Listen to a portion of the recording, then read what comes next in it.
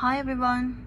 In this Math Olympiad question, we're going to solve for positive integer solutions for a plus 2ab plus b equals 22. So how, how, how would we solve this? How are we going to solve two variable equations? Have we done this? Okay, let's try it. Here on left hand side, you have two variables that is a and b and you have the coefficient of a as 1 and coefficient of b as 1 and the coefficient of ab as 2 and on right hand side you have 22 so here on left hand side this 2ab looks a bit ugly not suitable for the equation.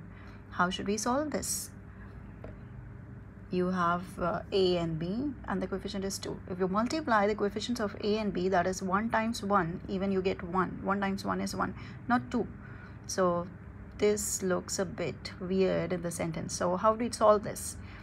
How to get rid of this 2 let's let's try to factorize it. Now when you're factorizing also you need to have some steps. Before factorizing what we can do is we can make the coefficients of a and b as 2 by multiplying both sides by 2 right? All right let's multiply by 2 on both sides. So you'll get 2a plus 2 times 2 is now you have 4ab plus you have 2b equals to 22 so this is how you have got the coefficients of ab as 2 when you multiply 2 times 2 you get 4 now it looks uh, a bit good because you have the same coefficients as you have it here. Now what can we do? When you're factorizing something, you should know that you're lacking a number in the equation.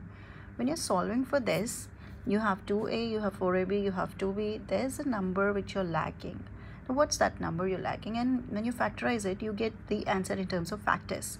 Factors are always written something like this always yes you have x plus a or x minus a or x plus b or x minus b now you you should know that the factors can be in terms of like you have the coefficient 2a let me write it down 2a plus or minus something 2b plus or minus something. Now that depends on the number which is lacking in the equation.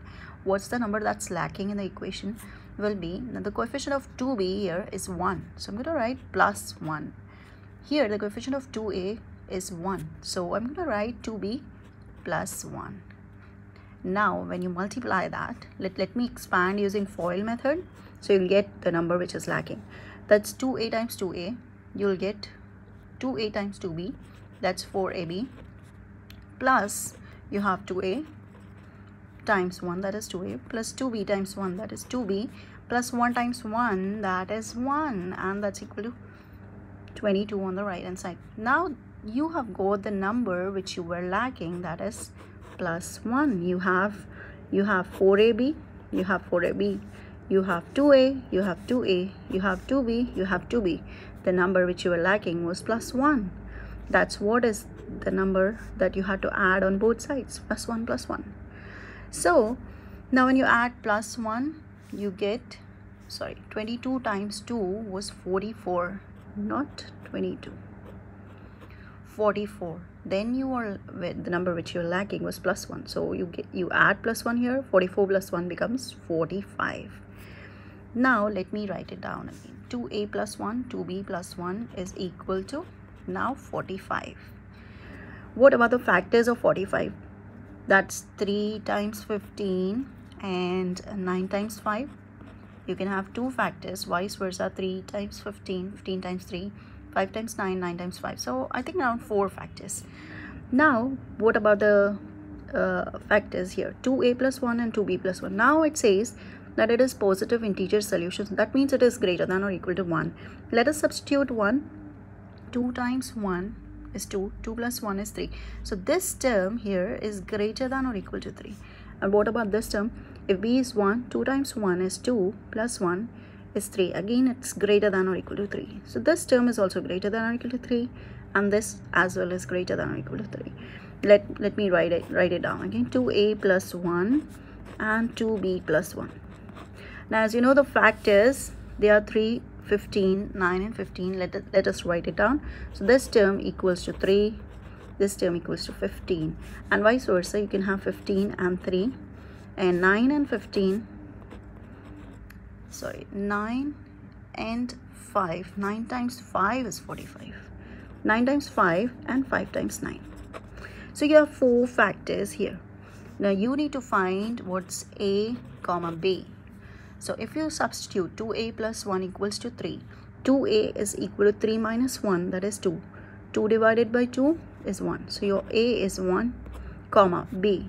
2b plus 1 is 15 2b is equal to 15 minus 1 that's 14 14 divided by 2 that's 7 so you have got 1 comma 7 and for here you just interchange. So let us write in 7 comma 1 and here 9 comma 5 let's substitute. 2a plus 1 equals 9 so 2a equals 9 minus 1 that's 8 8 divided by 2 that's 4 so your a is 4 and what about this? 2b plus 1 is 5 so 2b is 5 minus 1 that's 4 4 divided by 2 is 2 so that's your b2 vice versa change it 2 comma 4 so here you have four solutions for a and b that's how you find the solutions for A and B and that's your answer. If you like this session, don't forget to subscribe. Thank you so much for joining. Bye-bye. Take care. Have fun.